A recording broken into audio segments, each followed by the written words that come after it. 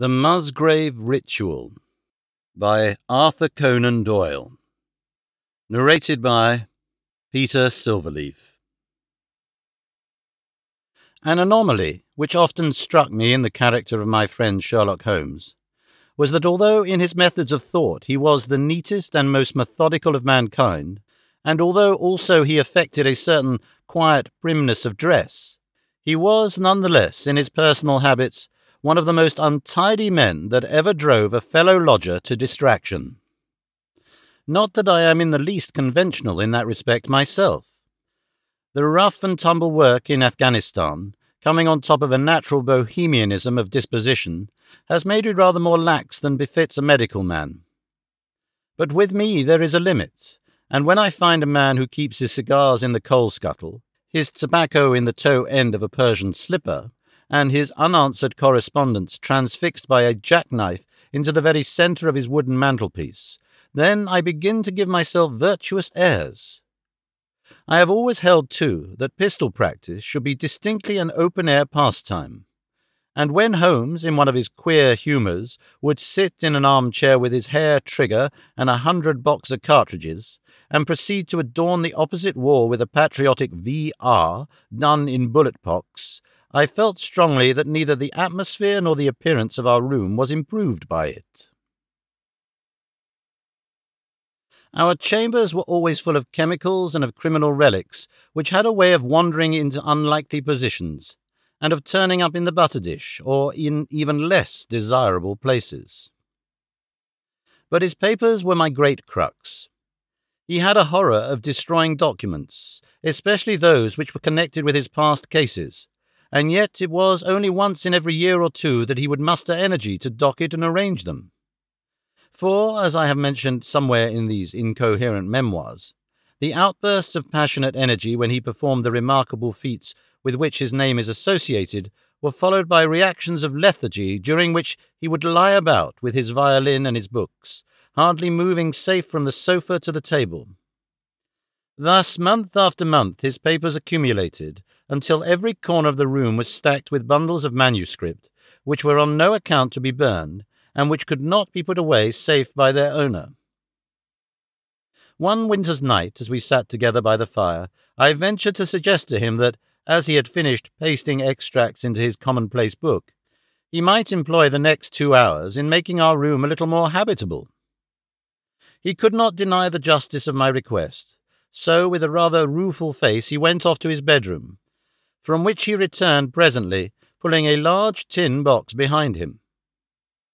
This he placed in the middle of the floor, and, squatting down upon a stool in front of it, he threw back the lid. I could see that it was already a third full of bundles of paper tied up with red tape into separate packages. There are cases enough here, Watson, said he, looking at me with mischievous eyes. I think that if you knew all that I had in this box, you would ask me to pull some out instead of putting others in. These are the records of your early work, then? I asked. I have often wished that I had notes of those cases. Yes, my boy, these were all done prematurely before my biographer had come to glorify me.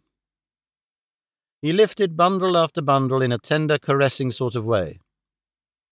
They are not all successes, Watson, said he, but there are some pretty little problems among them. Here's the record of the Tarleton murders, and the case of Vamberry, the wine merchant, and the adventure of the old Russian woman, and the singular affair of the aluminium crutch, as well as a full account of Ricoletti of the club foot, and his abominable wife. And here, ah, now this really is something a little recherche. He dived his arm down to the bottom of the chest and brought up a small wooden box with a sliding lid, such as children's toys are kept in. From within he produced a crumpled piece of paper, an old-fashioned brass key, a peg of wood with a ball of string attached to it, and three rusty old discs of metal. Well, my boy, what do you make of this lot? he asked, smiling at my expression. It is a curious collection, very curious, and the story that hangs round it will strike you as being more curious still. These relics have a history, then? So much so that they are history. What do you mean by that? Sherlock Holmes picked them up one by one and laid them along the edge of the table. Then he reseated himself in his chair and looked them over with a gleam of satisfaction in his eyes. These, said he, are all that I have left to remind me of the adventure of the Musgrave ritual. I had heard him mention the case more than once, though I had never been able to gather the details. I should be so glad, said I, if you would give me an account of it. And leave the litter as it is? he cried mischievously. Your tidiness won't bear much strain after all, Watson. But I should be glad that you should add this case to your annals, for there are points in it which make it quite unique in the criminal records of this or, I believe, of any other country. A collection of my trifling achievements would certainly be incomplete which contain no account of this very singular business. You may remember how the affair of the Gloria Scott and my conversation with the unhappy man whose fate I told you of first turned my attention in the direction of the profession which has become my life's work.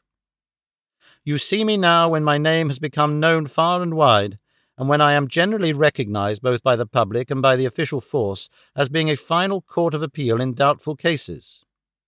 Even when you knew me first, at the time of the affair which you have commemorated in A Study in Scarlet, I had already established a considerable, though not a very lucrative, connection. You can hardly realize, then, how difficult I found it at first, and how long I had to wait before I succeeded in making any headway. When I first came up to London, I had rooms in Montague Street, just round the corner from the British Museum, and there I waited, filling in my too abundant leisure time by studying all those branches of science which might make me more efficient. Now and again, cases came in my way, principally through the introduction of old fellow students, for during my last years at the university there was a good deal of talk there about myself and my methods. The third of these cases was that of the Musgrave ritual, and it is to the interest which was aroused by that singular chain of events and the large issues which proved to be at stake that I traced my first stride towards the position which I now hold. Reginald Musgrave had been in the same college as myself, and I had some slight acquaintance with him. He was not generally popular among the undergraduates, though it always seemed to me that what was set down as pride was really an attempt to cover extreme natural diffidence. In appearance, he was a man of exceedingly aristocratic type, thin, high nosed, and large eyed, with languid and yet courtly manners. He was indeed a scion of one of the very oldest families in the kingdom, though his branch was a cadet one which had separated from the northern Musgraves some time in the sixteenth century, and had established itself in western Sussex, where the manor house of Hurlstone is perhaps the oldest inhabited building in the county. Something of his birthplace seemed to cling to the man, and I never looked at his pale, keen face or the poise of his head without associating him with grey archways and mullioned windows and all the venerable wreckage of a feudal keep. Once or twice a week we drifted into talk, and I can remember that more than once he expressed a keen interest in my methods of observation and inference. For four years I had seen nothing of him until one morning he walked into my room in Montague Street. He had changed little, was dressed like a young man of fashion, he was always a bit of a dandy, and preserved the same quiet, suave manner which had formerly distinguished him. How has all gone with you, Musgrave? I asked after we had cordially shaken hands. You probably heard of my poor father's death, said he. He was carried off about two years ago.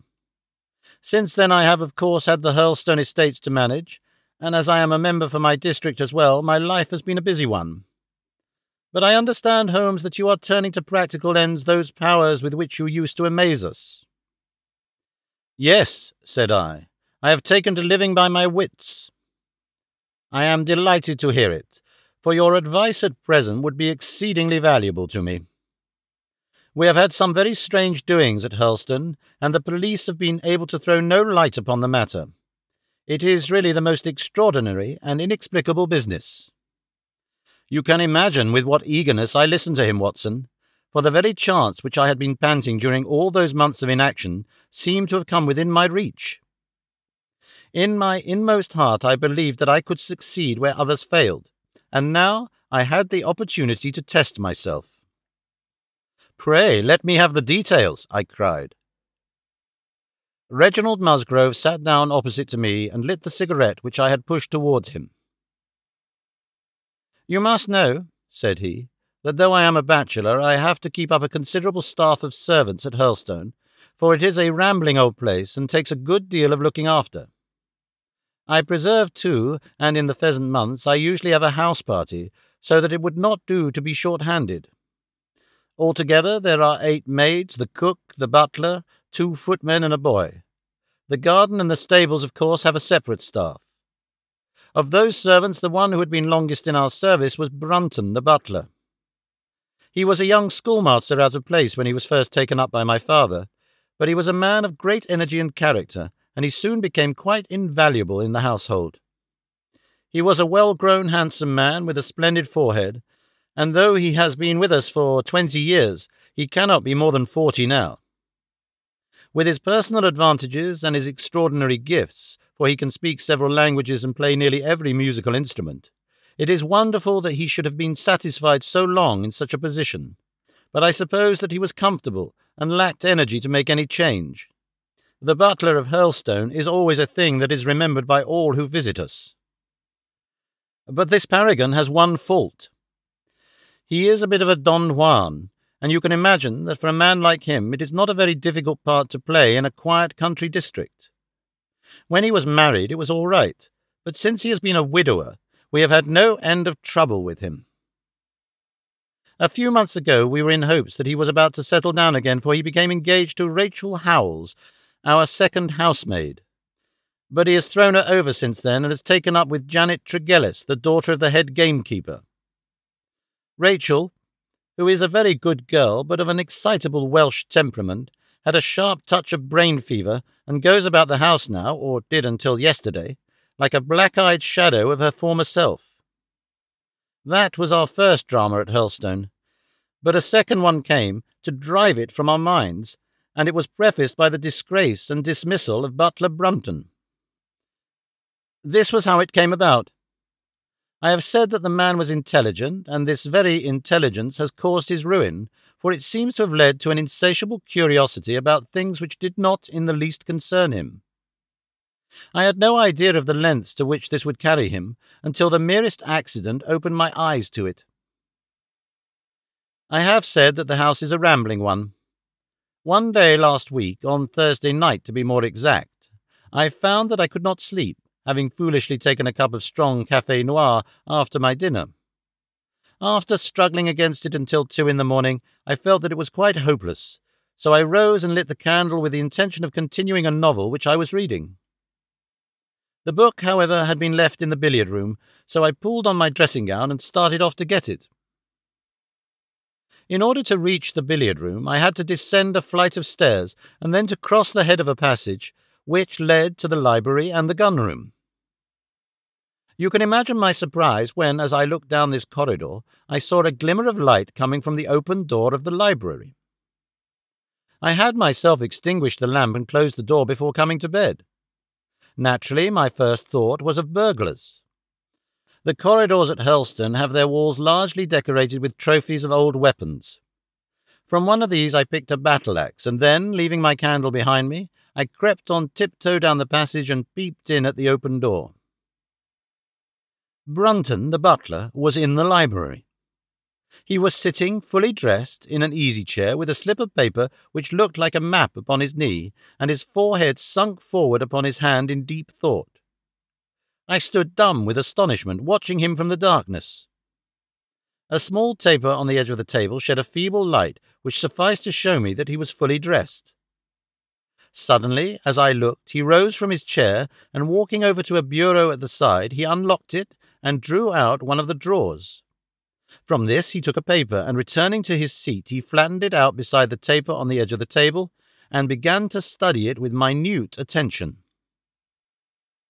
My indignation at this calm examination of our family documents overcame me so far that I took a step forward, and Brunton, looking up, saw me standing in the doorway. He sprang to his feet, His face turned livid with fear, and he thrust into his breast the chart like paper which he had been originally studying. So, said I, this is how you repay the trust which we have reposed in you. You will leave my service tomorrow. He bowed with the look of a man who is utterly crushed and slunk past me without a word. The taper was still on the table, and by its light I glanced to see what the paper was which Brunton had taken from the bureau.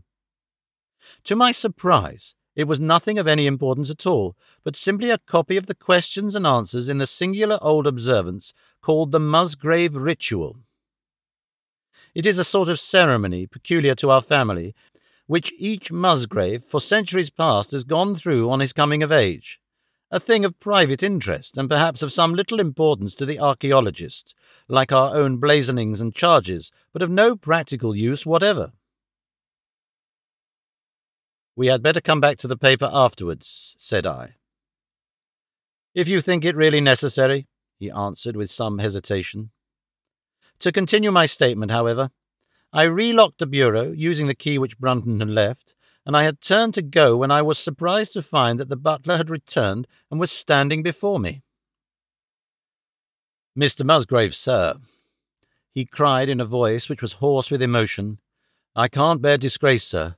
I've always been proud about my station in life, and disgrace would kill me. My blood will be on your head, sir. It will, indeed, if you drive me to despair. If you cannot keep me after what has passed, then for God's sake let me give you notice and leave in a month, as if of my own free will. I could stand that, Mr. Musgrave, but not to be cast out before all the folk that I know so well. You don't deserve much consideration, Brunton, I answered. Your conduct has been most infamous. However, as you have been a long time in the family, I have no wish to bring public disgrace upon you. A month, however, is too long.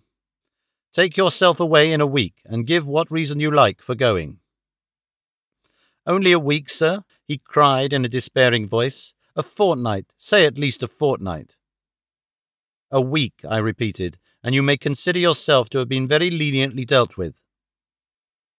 He crept away, his face sunk upon his breast, like a broken man, while I put out the light and returned to my room.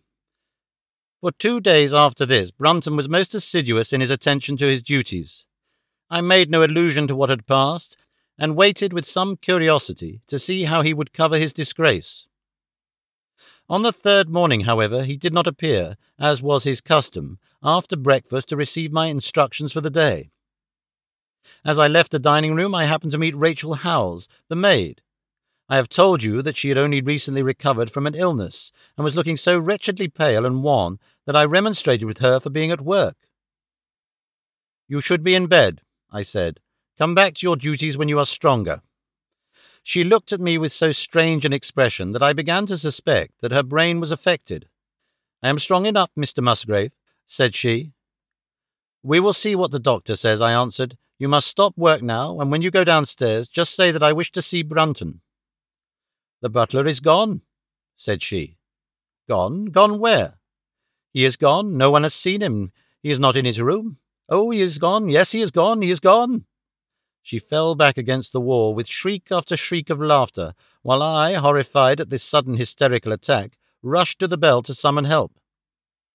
The girl was taken to her room, still screaming and sobbing, while I made inquiries about Brunton. There was no doubt about it that he had disappeared, his bed had not been slept in. He had been seen by no one since he had retired to his room the night before, and yet it was difficult to see how he could have left the house, as both windows and doors were found to be fastened in the morning. His clothes, his watch, and even his money were in his room, but the black suit which he usually wore was missing. His slippers, too, were gone, but his boots were left behind. Where, then, could Butler Brunton have gone in the night, and what could have become of him now? Of course, we searched the house from cellar to garret, but there was no trace of him. It is, as I have said, a labyrinth of an old house, especially the original wing, which is now practically uninhabited. But we ransacked every room and cellar without discovering the least sign of the missing man. It was incredible to me that he could have gone away, leaving all his property behind him, and yet where could he be? I called in the local police, but without success. Rain had fallen on the night before, and we examined the lawn and the paths all round the house, but in vain. Matters were in this state when a new development quite drew our attention away from the original mystery. For two days, Rachel Howells had been so ill, sometimes delirious, sometimes hysterical, that a nurse had been employed to sit up with her at night. On the third night after Brunton's disappearance, the nurse, finding her patient sleeping nicely, had dropped into a nap in the armchair, when she awoke suddenly in the early morning to find the bed empty, the window open, and no signs of the invalid. I was instantly aroused, and, with two footmen, started off at once in search of the missing girl. It was not difficult to tell the direction which she had taken, for, starting from under her window, we could follow her footmarks easily across the lawn to the edge of the mere, where they vanished close to the gravel path which leads out of the grounds. The lake there is eight feet deep, and you can imagine our feelings when we saw that the trail of the poor demented girl came to an end at the edge of it. Of course, we had the drags at once and set to work to recover the remains, but no trace of the body could we find. On the other hand, we brought to the surface an object of a most unexpected kind. It was a linen bag which contained within it a mass of old rusted and discoloured metal and several dull coloured pieces of pebble or glass. This strange find was all that we could get from the mere, and although we made every possible search and inquiry yesterday, we know nothing of the fate of either Rachel Howells or of Richard Brunton. The country police are at their wits' end, and I have come to you as a last resource. You can imagine, Watson, with what eagerness I listened to this extraordinary sequence of events and endeavoured to piece them together and to devise some common thread upon which they might all hang. The butler was gone, the maid was gone. The maid had loved the butler, but had afterwards had cause to hate him. She was of Welsh blood, fiery and passionate. She had been terribly excited immediately after his disappearance. She had flung into the lake a bag containing some curious contents. These were all factors which had to be taken into consideration, and yet none of them got quite to the heart of the matter. What was the starting point of this chain of events? There lay the end of this tangled line. I must see that paper, Musgrave, said I, which this butler of yours thought it worth his while to consult, even at the risk of loss of his place. It's rather an absurd business, this ritual of ours, he answered, but it has at least the saving grace of antiquity to excuse it. I have a copy of the questions and answers here, if you care to run your eye over them. He handed me the very paper which I have here, Watson, and this is the very strange catechism to which each Musgrave had to submit when he came to man's estate. I will read you the questions and answers as they stand. Whose was it? His who is gone. Who shall have it? He who will come. Where was the sun? Over the oak. Where was the shadow? under the elm. How was it stepped? North by ten by ten, east by five by five, south by two by two, west by one by one, and so under. What shall we give for it? All that is ours.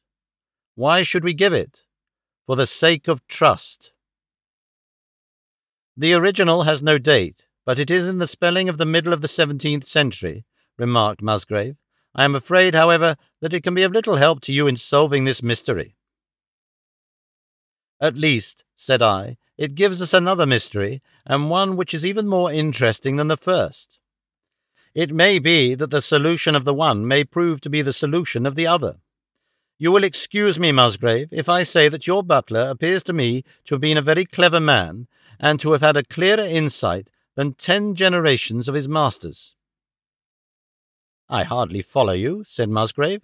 The paper seems to me to be of no practical importance. But to me it seems immensely practical, and I fancy that Brunton took the same view. He had probably seen it before that night on which you caught him. It is very possible. We took no pains to hide it. He simply wished, I should imagine, to refresh his memory upon that last occasion. He had, as I understand, some sort of map or chart which he was comparing with the manuscript, and which he thrust into his pocket when you appeared? That is true. But what could he have to do with this old family custom of ours, and what does this rigmarole mean? I don't think that we should have much difficulty in determining that, said I. With your permission, we will take the first train down to Sussex and go a little more deeply into the matter upon the spot. The same afternoon saw us both at Hurlstone. Possibly you have seen pictures and read descriptions of the famous old building, so I will confine my account of it to saying that it is built in the shape of an L, the long arm being the more modern portion, and the shorter the ancient nucleus, from which the other had developed. Over the low, heavily lintelled door in the centre of this old part is chiselled the date 1607, but experts are agreed that the beams and stonework are really much older than this. The enormously thick walls and tiny windows of this part had, in the last century, driven the family into building the new wing, and the old one was used now as a storehouse and a cellar, when it was used at all. A splendid park with fine old timber surrounds the house, and the lake to which my client had referred lay close to the avenue, about two hundred yards from the building.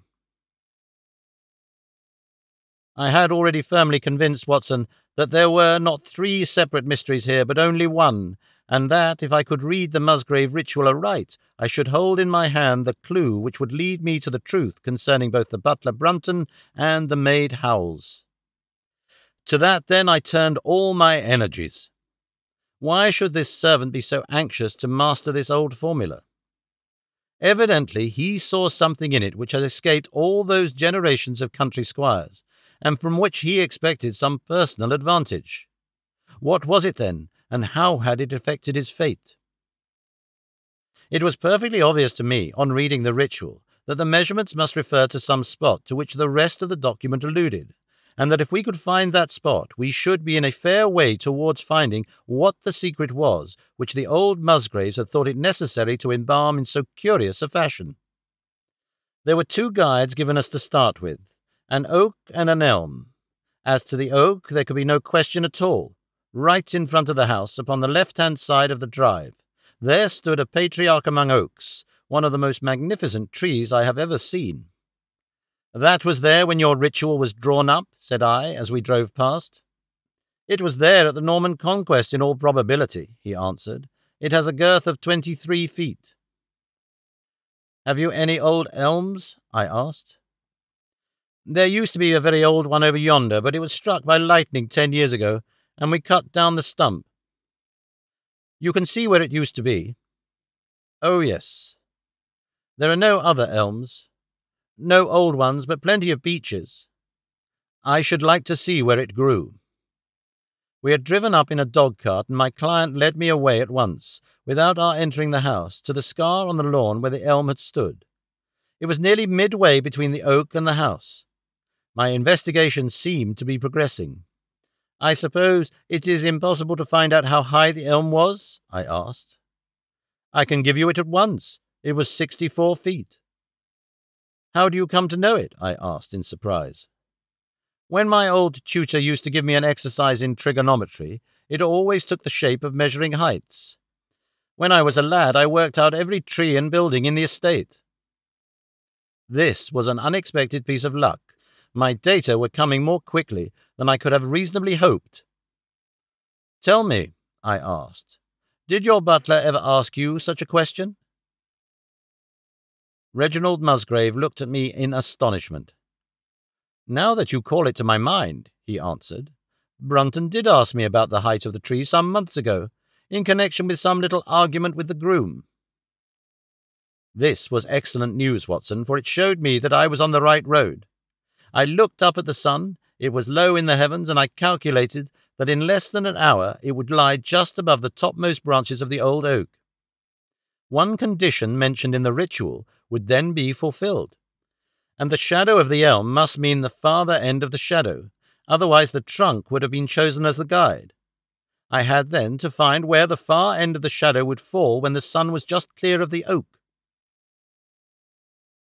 That must have been difficult, Holmes, when the elm was no longer there. Well, at least I knew that if Brunton could do it, I could also. Besides, there was no real difficulty. I went with Musgrave to his study and whittled myself this peg, to which I tied this long string with a knot at each yard. And then I took two lengths of a fishing rod, which came to just six feet, and I went back with my client to where the elm had been. The sun was just grazing the top of the oak. I fastened the rod on end, marked out the direction of the shadow, and measured it. It was nine feet in length. Of course, the calculation was now a simple one. If a rod of six feet threw a shadow of nine, a tree of sixty-four feet would throw one of ninety-six, and the line of the one would, of course, be the line of the other. I measured out the distance, which brought me almost to the wall of the house, and I thrust a peg into the spot. You can imagine my exultation, Watson, when within two inches of my peg I saw a conical depression in the ground. I knew that it was the mark made by Brunton in his measurements, and that I was still upon his trail. From this starting point I proceeded to step, having first taken the cardinal points of my pocket compass. Ten steps with each foot took me along parallel with the wall of the house, and again I marked my spot with a peg. Then I carefully paced off five to the east and two to the south. It brought me to the very threshold of the old door. Two steps to the west meant now that I was to go two paces down the stone flagged passage, and this was the place indicated by the ritual.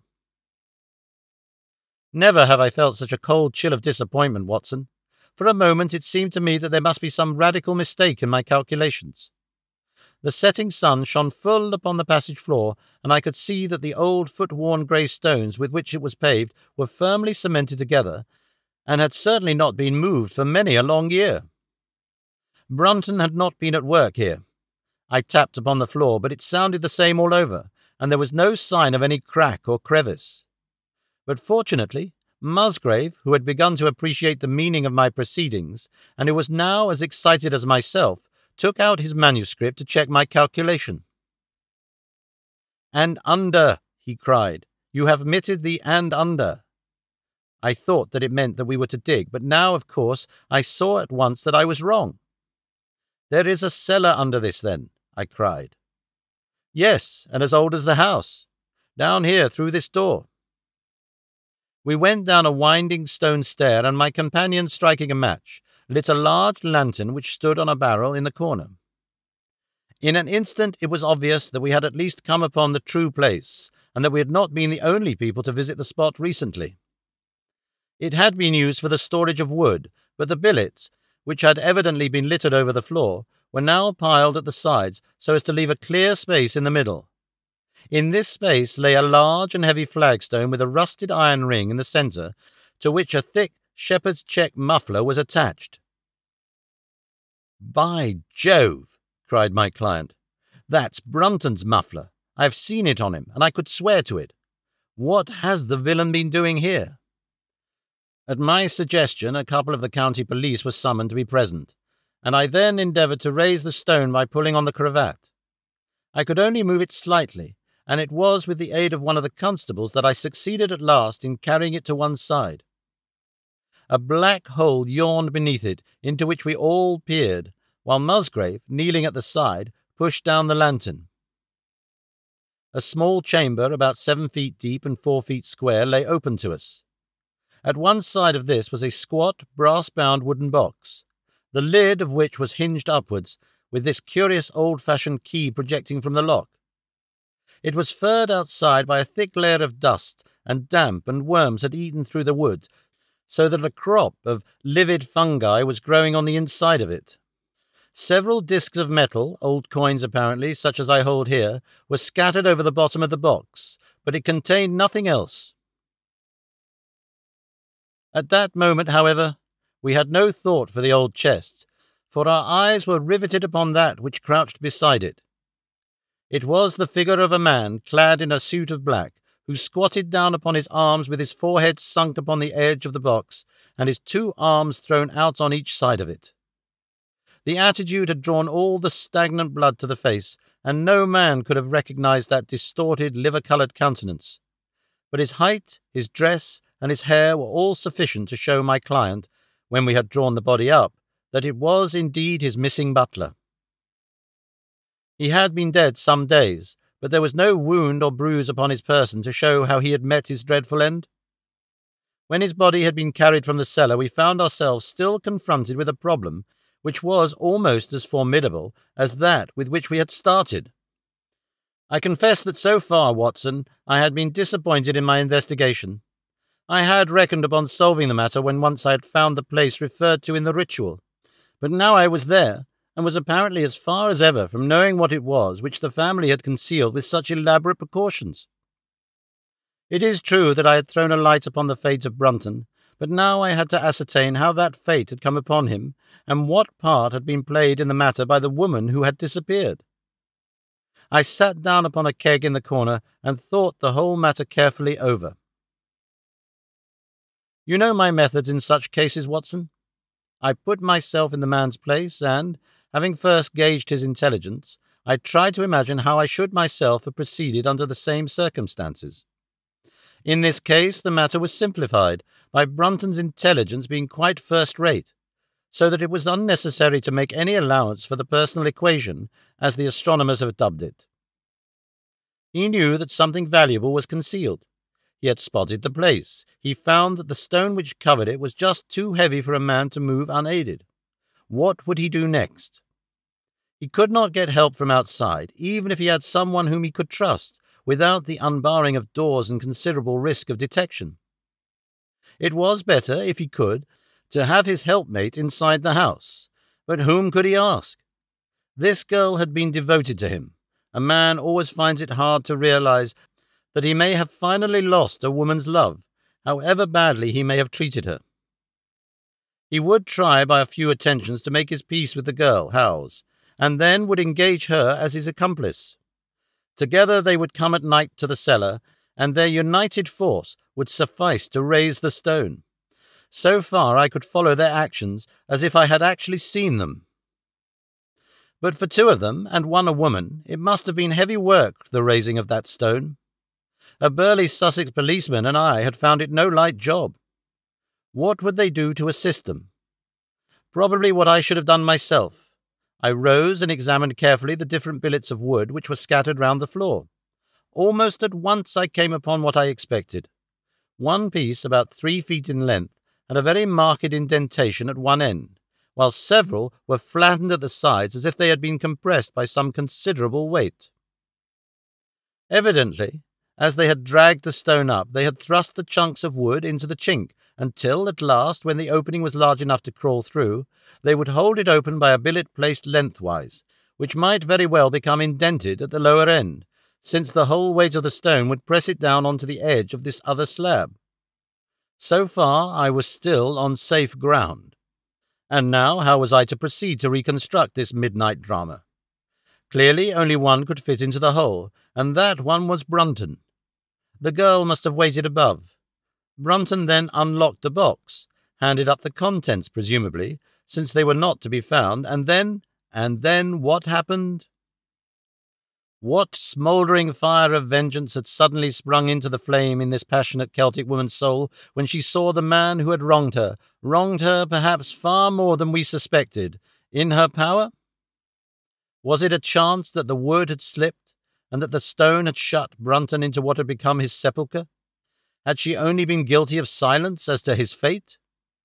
Or had some sudden blow from her hand dashed the support away and sent the slab crashing down into its place? Be that as it might, I seemed to see that woman's figure still clutching at her treasure trove and flying wildly up the winding stair, with her ears ringing perhaps with the muffled screams from behind her, and with the drumming of frenzied hands against the slab of stone which was choking her faithless lover's life out. Here was the secret of her blanched face, her shaken nerves, her peals of hysterical laughter on the next morning. But what had been in the box? What had she done with it? Of course, it must have been the old metal and pebbles which my client had dragged from the mere. She had thrown them in there at the first opportunity to remove the last trace of her crime. For twenty minutes I had sat motionless, thinking the matter out. Musgrave still stood with a very pale face, swinging his lantern and peering down into the hole. These are the coins of Charles the First, said he, holding out the few which had been in the box. You see, we were right in fixing our date for the ritual. We may find something else of Charles the I, I cried as the probable meaning of the first two questions of the ritual broke suddenly upon me. Let me see the contents of the bag which you fished from the mere. We ascended to his study, and he laid the debris before me. I could understand his regarding it as of small importance when I looked at it, for the metal was almost black and the stones lustreless and dull. I rubbed one of them on my sleeve, however, and it glowed afterwards like a spark in the dark hollow of my hand. The metal work was in the form of a double ring, but it had been bent and twisted out of its original shape. You must bear in mind, said I, that the royal party made head in England even after the death of the king, and that when they at last fled, they probably left many of their most precious possessions buried behind them, with the intention of returning for them in more peaceful times. My ancestor, Sir Ralph Musgrave, was a prominent cavalier, and the right hand man of Charles II in his wanderings, said my friend. Ah, indeed, I answered. Well, now, I think that really should give us the last link that we wanted. I must congratulate you on coming into the possession, though in rather a tragic manner, of a relic which is of great intrinsic value, but of even greater importance as an historical curiosity. What is it then? he gasped in astonishment. It is nothing less than the ancient crown of the kings of England. The crown? Precisely. Consider what the ritual says. How does it run? Who has it? His who is gone. That was after the execution of Charles. Then, who shall have it? He who will come. That was Charles II, whose advent was already foreseen. There can, I think, be no doubt that this battered and shapeless diadem once encircled the brows of the royal Stuarts. And how came it in the pond? Ah, that is a question that will take some time to answer. And with that I sketched out to him the whole long chain of surmise and of proof which I had constructed. The twilight had closed in, and the moon was shining brightly in the sky before my narrative was finished. And how was it then that Charles did not get his crown when he returned? asked Musgrave, pushing back the relic into its linen bag. Ah, there you lay your finger upon the one point which we shall probably never be able to clear up. It is likely that the Musgrave who held the secret died in the interval, and by some oversight left this guide to his descendant without explaining the meaning of it. From that day to this, it has been handed down from father to son, until at last it came within reach of a man who tore its secret out of it and lost his life in the venture. And that's the story of the Musgrave ritual, Watson.